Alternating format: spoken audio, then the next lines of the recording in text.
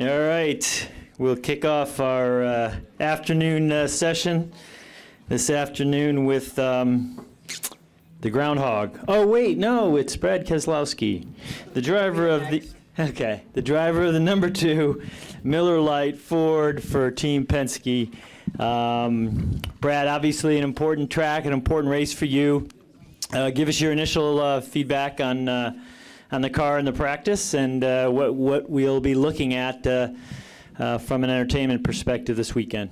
Yeah, sure. Uh, but before I get started, I think um, probably ought to say something about um, you know Gordie Howe and being in Detroit. Um, you know, kind of a, a, huge deal if you're from this area. I know there's probably a lot of local media here that are, or some that are watching or listening uh, that are. So, I'd like to send my thoughts out to that. I kind of I know he lived really close to me when I was growing up, so it's a big deal for all my friends and family, even if it's not for everyone here. But uh, that's a guy who left a, a, tremendous legacy on his sport. So, uh, like to say we're thinking about him and his family, um, and, and, start with that note. But uh, talking about um, this race weekend um, here, uh, you know, there's so much going on. I mean.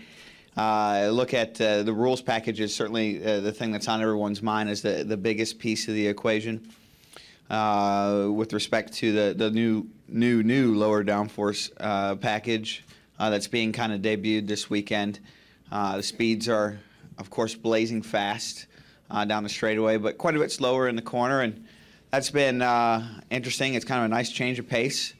We're all kind of learning together how that will affect the racing, and I don't think anyone really has an answer until they drop the green on Sunday, uh, which seems to normally be the case here, where the races are always a lot different than practice and qualifying. So uh, I guess we'll see, but I feel really good about it. I know it's a lot of fun to drive. You know, you enter the corner at almost uh, 220 mile an hour, and you, you, turn left, and the front goes, and the, the back doesn't always go with it, and uh, that's uh, quite a feeling for sure. But uh, it's a, a, unique challenge. I think it's going to bring out some of the best racing that we've uh, seen in quite some time. So I'm, I'm really optimistic about it and uh, hoping that we can uh, turn this opportunity into a, a, victory here at Michigan. We've been really close with uh, a handful of uh, second and third place finishes over the last um, few years here, and uh, I feel confident that uh, we can find that last little piece to, to make it a win here because we're on quite a streak with, with our team. We've had a lot of strong runs over the last few weeks and uh, that's added up uh, to a win uh, at Talladega, I think, uh, four or five weeks ago, and uh, uh, a steady kind of moving up in the points. we've moved up from sixth or seventh now to, to third, and you know, not too far off of being able to have a shot at, at taking over the points lead in normal points and taking over the points lead in chase standings if we could get a win here this weekend. So. That's our focus. We want to make that happen, and I think we're off to a good start.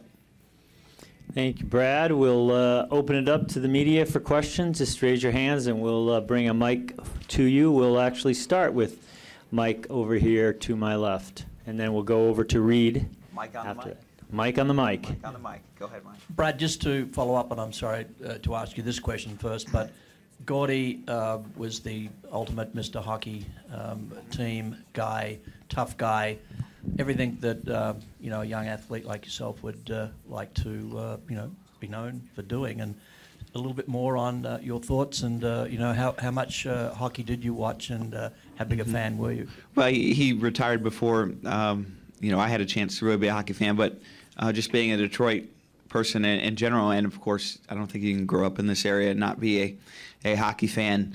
of the Red Wings or, and more, uh, but looking at that, um, you know, I think he had more than just the respect of his community. I think he had the respect of his entire sport, uh, which is hard to do um, for anyone.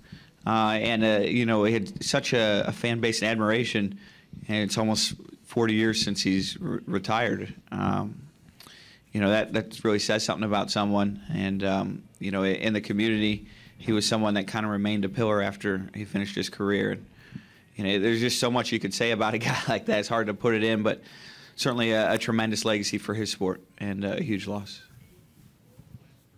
All right, over to you, Reid.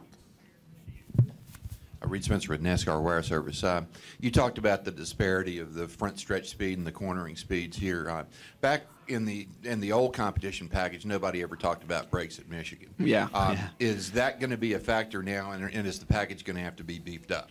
Yeah, Reid, I'd say we talked about brakes, and the conversation we talked about brakes before was how little can we get away with, and now it's probably going to be, uh, you know, how much more do we need to put on? So, certainly a, a different conversation with that delta, you know, the difference between the, the fastest and the, the slowest speeds on the track. Um, and, as to how that's going to all come together, I, I, we're going to learn together. You know, that's that's really the thing I would say is, uh, you know, my intuition says the track's going to get really wide in the corners because you're going to get crazy sideways loose and you're going to use up a lot of real estate. And that could make for some really fun racing um, back to kind of the old Michigan. So. Uh, all those things are, are really interesting. I might be completely wrong. I don't think anyone knows the, the, the real answer there. So um, when we get going, we'll kind of all find out. But um, certainly a, a much different challenge than what we've had in the past here at Michigan. Uh, and I don't think that's a, a bad thing. I think it's a good thing.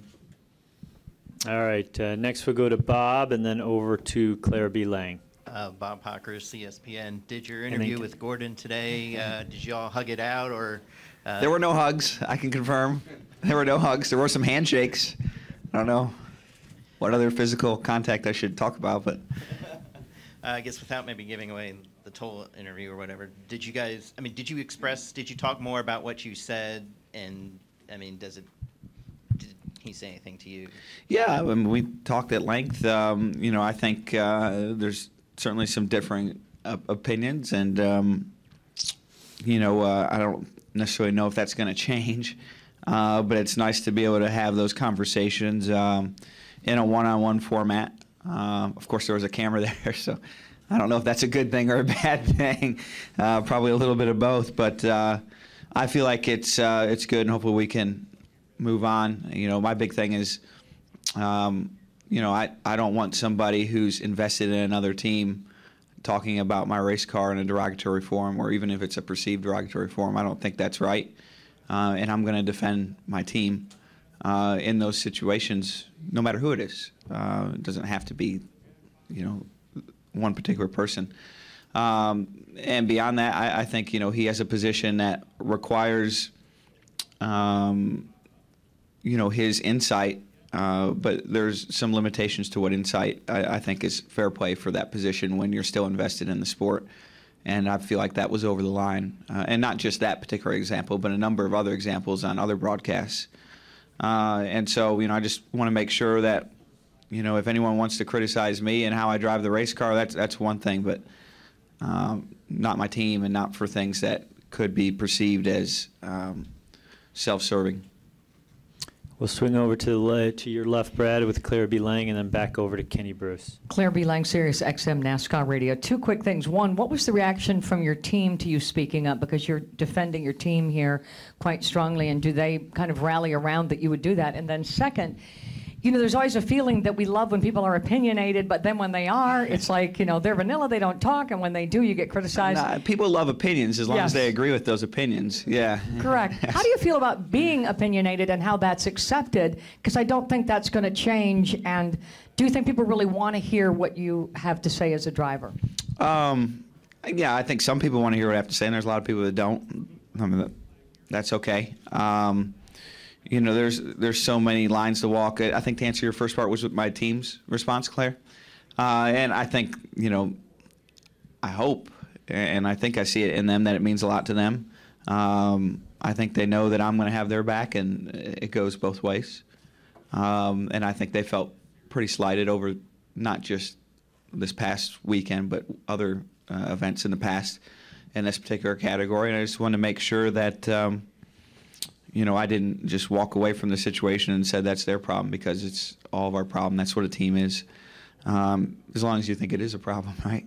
Uh, so I, I think that it, it means something to them. It's, you know, a question for them, perhaps uh, for the individual guys, and not myself to get the best answer on that. But um, so to answer your question, that's kind of how I feel. That what was what was the other question how, about being opinionated? I mean, yeah, it's tough. Um, it, it'd be a lot easier if I didn't have a lot to say, and if I didn't. Um, if I didn't uh, chime in from time to time. And I think um, I've tried to be a, a little bit um, maybe less forthcoming than I have in, in, in the past because it can be uh, perceived, whether real or not, as a distraction.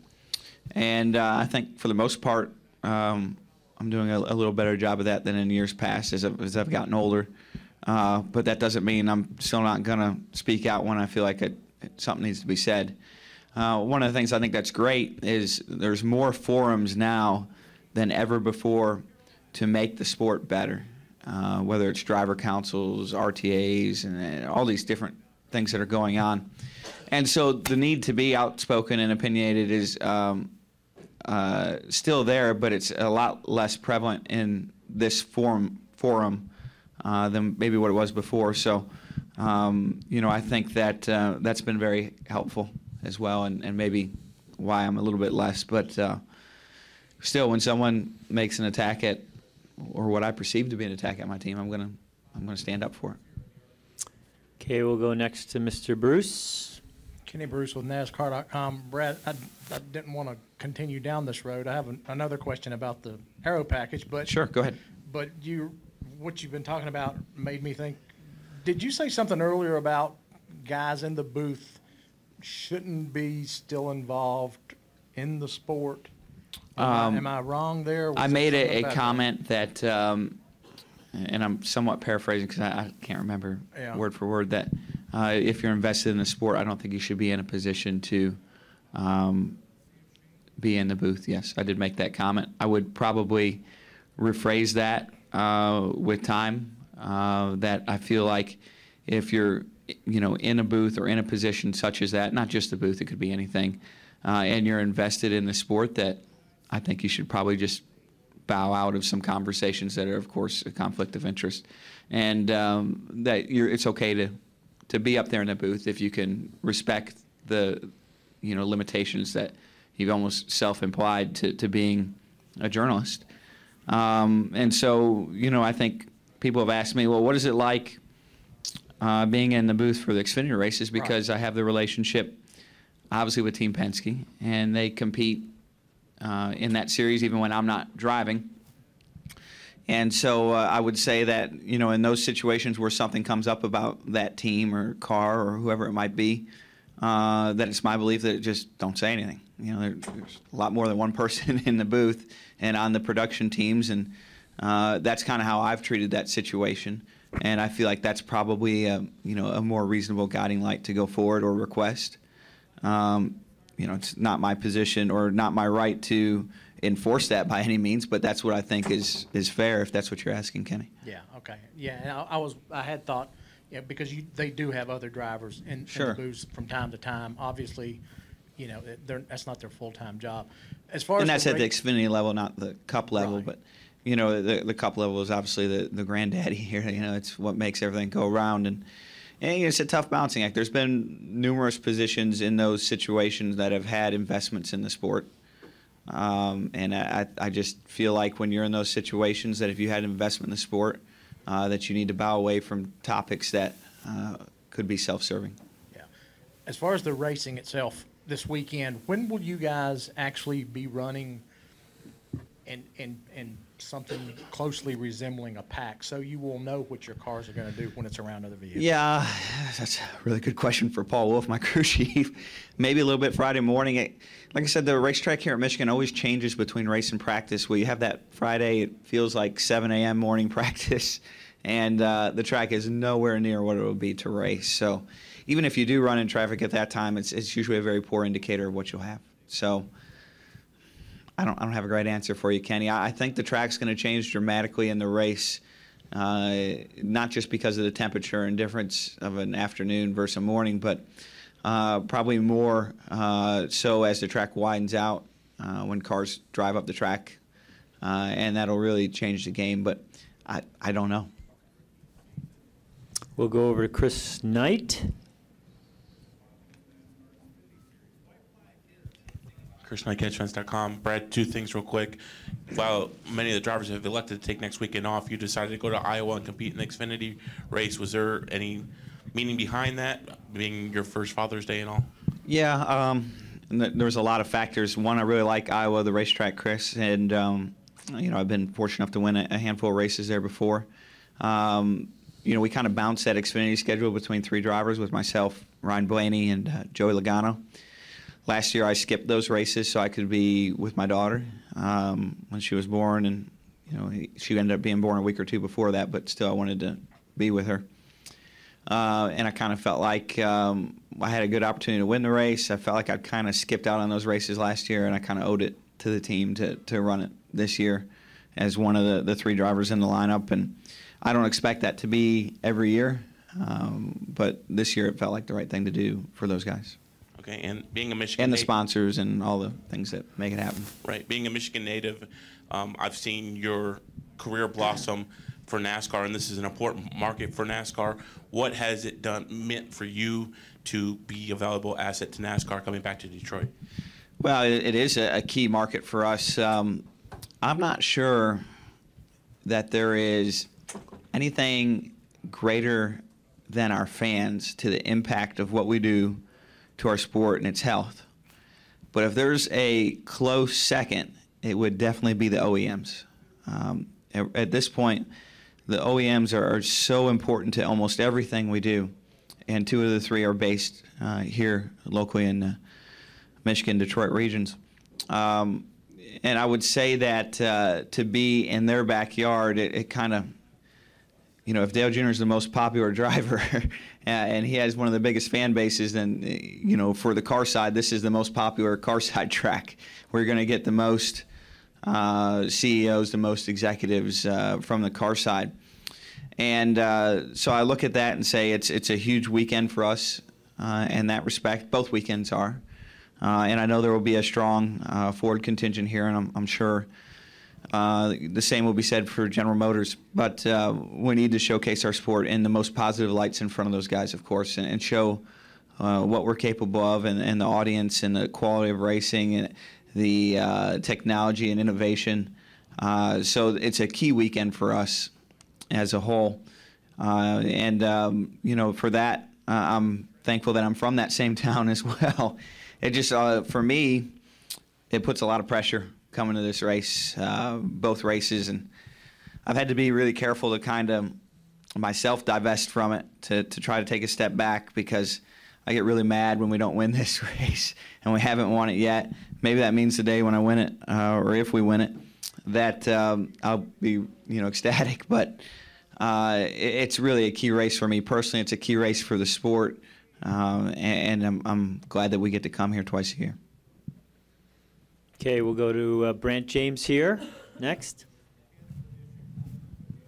Brant James, USA Today Sports. Do you have a hot pass today? I Brant got James? taken away. Uh, Yeah, oh, did you? Yeah, I'm just gonna give that guy. my- Dang, it probably went to those other 2,000 people. But go ahead. They've got plenty.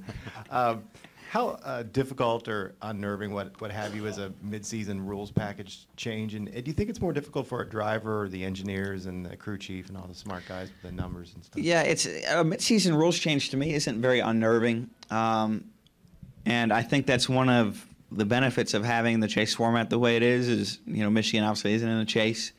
Of course, it could open up a race win for someone to get locked in. Uh, but you know, with it being positioned where it is in the chase, I don't see it uh, rules changes in the middle of the year as being as big of a deal as it was maybe 10 to 15 years ago. Um, and for us, it's opportunity. Uh, it's I think it's the opposite unnerving. I think it's excitement. I think it's opportunity to develop the sport, push it forward, uh, but also for us to really kind of go out all out for a new package and, and not have to worry so much about, you know, the uh, severe penalty of having a bad race. So, um, you know, I, I kind of look at it in more of a positive light than anything else. What was your other question? You think is it harder for the, the engineers? I mean, Oh yeah, it's harder on the engineers for sure. You know, they uh, they earn their money on weeks like this for sure, and um, you know that, I think that's why you're seeing so much of that uh, influence affect our sport. It just adds to the critical need for really smart people uh, in those sectors. He was referring to the smart guys as opposed to As drivers. opposed to yeah, well, I, the non-smart I don't know guys, if you like- were, took offense with that, but yeah, no, I think um, yeah, the engineers are a lot smarter than what a race car driver is ever going to be. But you know what happens is over time, when the rules stay the same, year over year over year over year, um, I got the best technology out there called my ass, and uh, it tells me what to do to the race car, and uh, you know, so I kind of win out over the engineers when there's not any rules changes. But when there's rules changes, they bring out all these other fancy technologies they have. Believe it or not, that work better than my butt, and um, they win out. So it's uh, kind of a balance between the two. All right, any other questions for Mr. Keselowski up here in the middle? And then over to Lee. Bob Treat, Associated Press. this has always been a fuel mileage track. Yeah. Um, no one's really talked about that so far. How is this new rules package going to affect that? And certainly, it's going to make for better racing, uh, in my opinion, as, Yeah. as this race goes on. Yeah, I think um, Bob, the, the likelihood. I've never met you before, Bob. I've seen you before. I never met you, but uh, I think the likelihood of the race being one of the, the better races here at this track is, is very high with this rules package. Um, will it be a fuels fuel mileage race? I, I, doubt it. I wouldn't say never. and there's a lot of factors that can come into play there. With the smaller spoiler, the cars get a, letter, a little better fuel mileage than what they ever have here before, uh, which seems counterintuitive with the speeds being so high. But um, I think that's something that lends itself to having less opportunity. The, the less times you have to pit in a race, the less likely it is that it'll be a fuel mileage race. There's just less opportunity. So uh, we'll pit less than we have or be able to go longer on fuel than we ever have before. So that'll be a factor that I think uh, leads me to leave less opportunity for a fuel mileage race. But also, you would assume with the cars going as fast as they're going down the straightaway and as slow as they are in the corner, uh, that'll be a little harder on the tires, a little more tire wear, uh, which generally means that um, tires are more important than fuel, all those things. Um, and you'll see comers and goers throughout the race cars that are fast at the start, cars that are fast at the end of a run. Uh, and that opens itself, itself up for great racing. Uh, so I think there's a lot of factors that are adding up, and, and I would agree uh, with what you said. All right, we'll wrap it up with Ms. Spencer. Lee Spencer, Motorsport.com. Um, what was the thing you were talking about on Twitter about wanting to gain weight? What was that whole thing? Yeah, I- I mean, you'll have to wait till Monday and Tuesday. I, I don't know which one's going to be Monday or Tuesday, and, and then I'll answer that. I Is it, is it a that. muscle thing? I mean, wanting to gain muscle as opposed to actually gaining weight? I, I can't tell you that. I'm sorry. So you just don't want to look like you're wasting away to nothing week after week? Is yeah, I'm, sure. Yeah. Okay. This week you'll know. Yeah. All right, we'll take This coming question. week you'll know. Yeah. We got a question over here. To, Uh, Taylor DesOrmeau from MLive. You talked a little bit about fuel mileage, and last week it seemed like everyone was trying to save at the end, but they were telling you to go full for it. Would you say that you guys have a little bit better gas mileage than the opponents right now, or is it about the same?